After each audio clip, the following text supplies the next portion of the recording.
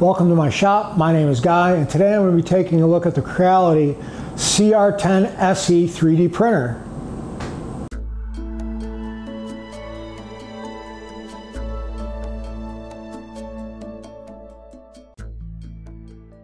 So let's take a look at the specs of this machine real quick. This is a pretty standard build size. It's a 220 by 220 on the X and Y. and actually has a 265 build height. Now this is a direct drive printer. It uses their Sprite hot end. I should mention that this is an all metal hot end and it also comes with a hardened steel nozzle which is really nice so it can use some abrasive materials right out of the box. Now this is from the Creality's newest line of printers and it's kind of cool because there's no wheels underneath here to adjust the bed. It does everything automatically. It levels the bed automatically and adjusts for Z height automatically. Uses a load cell on the one side and of course it's got a BL Touch or excuse me a CR Touch automatic bed leveling system. Another thing Creality has done with this printer that's really nice, on the X and the Y they're using linear rails so it's very very smooth the wheels aren't really usually a problem. Uh, however, these are just going to last longer, require less maintenance, and for overall, it just has a stiffer feel to it. Let me spin this around real quick. Now this does have dual Z motors on it, dual rods, and they're connected by a belt up on top. Now up on top, it does have a filament runout sensor included, and it does have an LED light bar with a separate switch which I kind of like. You don't have to go through the software to turn it on and off. Let's take a look underneath the hood of this extruder. There's just three screws holding on. Now there's a 40-20 fan for parts cooling on the inside here. There's another very small fan around the other side here for the hot end. Here's your CR Touch, and there is a breakout board on this that goes back to the motherboard. So everything is plugged in up here. Now this also appears to be using the same hot end that the Creality K1 uses. So there's a ceramic heater in there which heats up really quick and that's pretty cool. Now on the other side here we do have a breakout board. Um, everything is plugged into there so if you need to do repairs you can do it right here. You don't have to go all the way back to the motherboard. This is the wire coming from the, the motherboard and it appears to have one, two, three, four, five, six, seven, eight wires that goes back to the motherboard. I've got the printer on its back and I've taken off the bottom cover. There is a 350 watt power supply in here. Here's the motherboard. There's also a little daughter board here. I really don't know what it is. It's marked RS-232, which is a communication protocol. Comes out of here into there, and then that is what's feeding the, the board on the head itself. Let's take a closer look at this motherboard. One of the first things I noticed on this motherboard is that there's three heat sinks. So what that's telling me is that the two Z motors do not act independently of one another. You've got X, Y, and Z. So uh, one of these days I'd like to see somebody that actually has a Z motors that act independently of one another. This is the cable that goes over to the display, and we'll talk about that in a few minutes. Um, not a whole heck of a lot going on. Everything is pretty standard. Um, that's the bed thermistor. So everything is done through communications to the, to the hot end. A couple other quick things. This does include a PEI sheet, which is really nice instead of that black polycarbonate thing they've been putting on lately. It has a drawer in the front to hold all the tools. And there's no USB ports on the front. They're actually on the side of the display, and there's two of them. Let's turn the machine on. I don't know if you can hear those fans.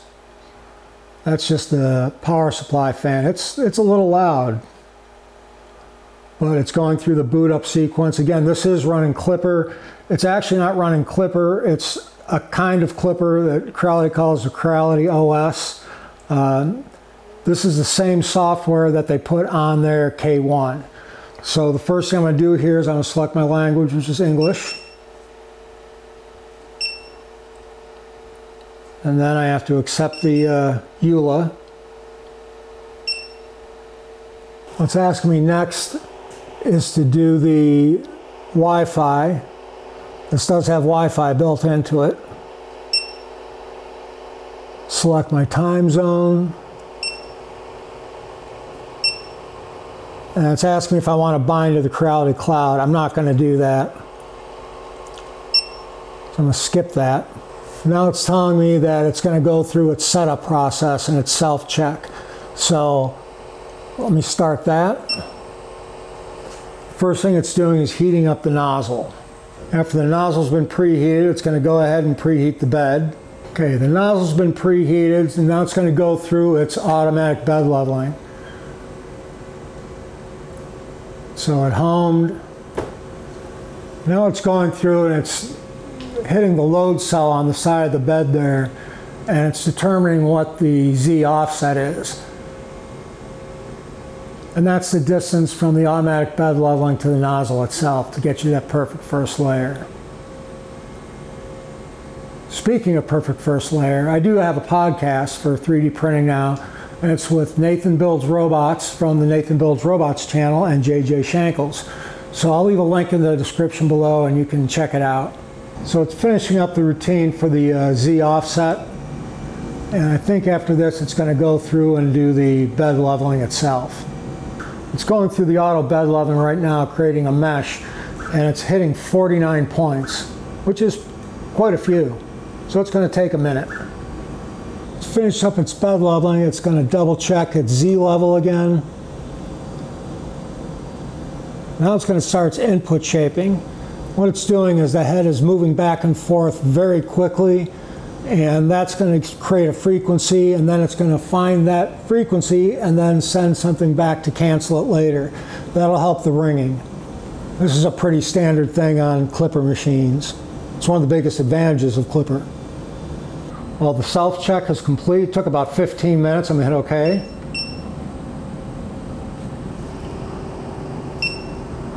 And here's the screen. Again, this looks just like the K1 except it's in a portrait orientation instead of landscape. So that was it for the configuration. It's completely set up, ready to go now. Uh, very easy. You don't have to really mess with anything. Everything is automatic. Let's get some uh, filament loaded in this.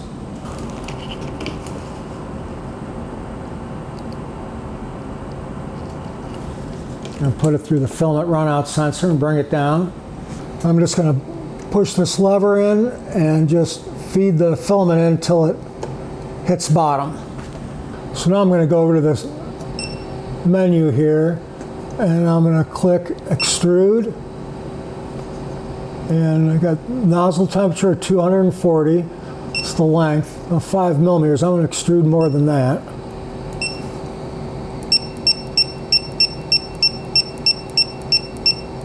say 20 millimeters to hit extrude and it's going to heat up the nozzle and then extrude the filament. So the nozzle is heated up and it's extruding. All is good.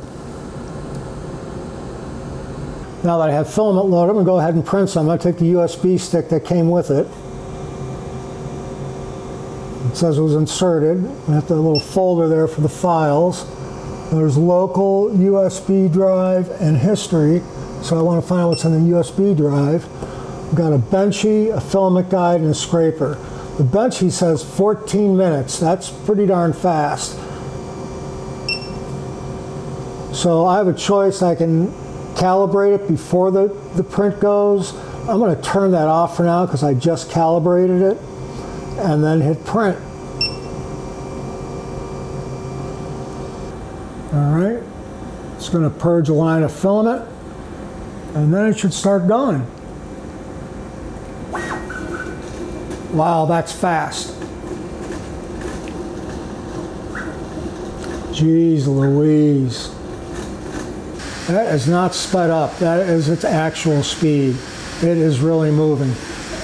I did look in the slicer and the profile for this, the exact same speed as the K1.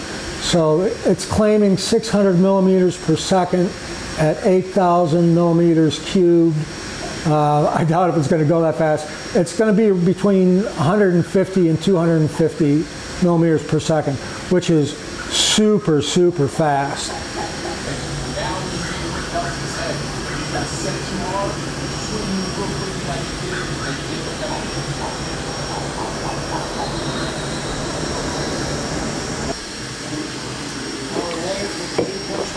Touchdowns. And now Rivers takes it inside the 35-yard line of the Colts.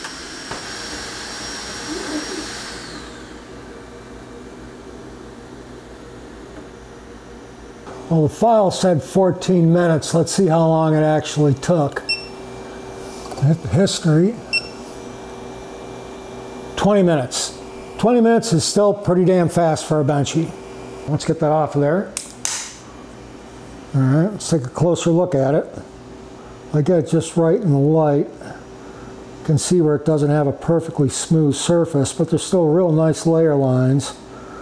There's a little bit here where it could use some more cooling. The overhangs are very good. It's very flat here. Overall, this is an acceptable benchy. I wouldn't call it super fantastic print quality, but it's it's not bad. I've seen worse, but I, I have seen better. I printed out what was left on the uh, SD card. One of the things was this filament guide. I said the print quality is acceptable, but I would not call it exceptional by any stretch of the imagination. But it's good considering the speed and it's a bed slinger. I think that if I slowed it down a little bit, it would work much better. Now this is a scraper. This also came on the USB drive with the machine. Now this is something I sliced myself using the Creality slicer and their uh, default profile for PLA on this. This is a, a little lidded box. I wanted to test to see how that would look there, or how that would work. And also, this gives me a really good idea of the Z banding on it. And I don't know if you can see it, but there's some definite Z banding on this. I also printed out this garbage can. Uh, this was in vase mode, and this came out really nice. The layer lines are real tight. There's no under extrusion anywhere. There's no over extrusion. There's no little zits everywhere. So this came out pretty nice. Um, overall, I'm pretty happy with this. This has me a little concerned though. I'm, I'm just wondering if I can tune that out somehow. So let's talk about the things I really like about this machine. First of all, I love that it has Klipper. It's not fully open source, but I'm sure Creality will open it up sooner or later. I like all the features it has. It ticks off every single feature you could want on a bed slinger. It has Klipper, direct drive, dual Z, filament runout. It also has the linear guides or the linear rails, which I think is a pretty big deal. It comes with a really nice PEI plate, uh, touch screen display, fully featured. It, it has a lot going for it. The only thing that I question on this is what is the market for this machine? This machine right now at time of filming runs around 390 to $420. Uh, the only thing I can really think of is that this is trying to do competition with the AnkerMake was it the M5C I think, uh, which is about $400. that makes a lot of sense. I think where this machine could really shine is in a print farm. Um, it appears that it's going to be very durable.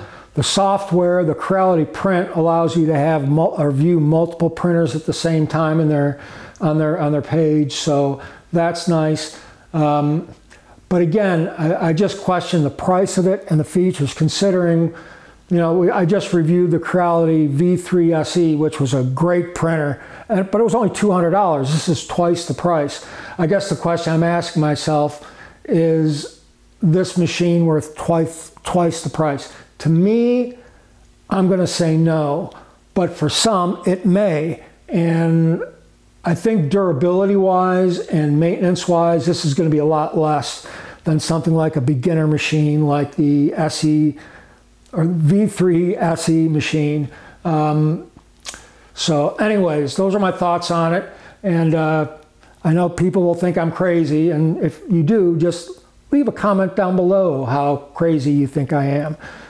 Thanks so much for watching, and we'll, we'll see you next time.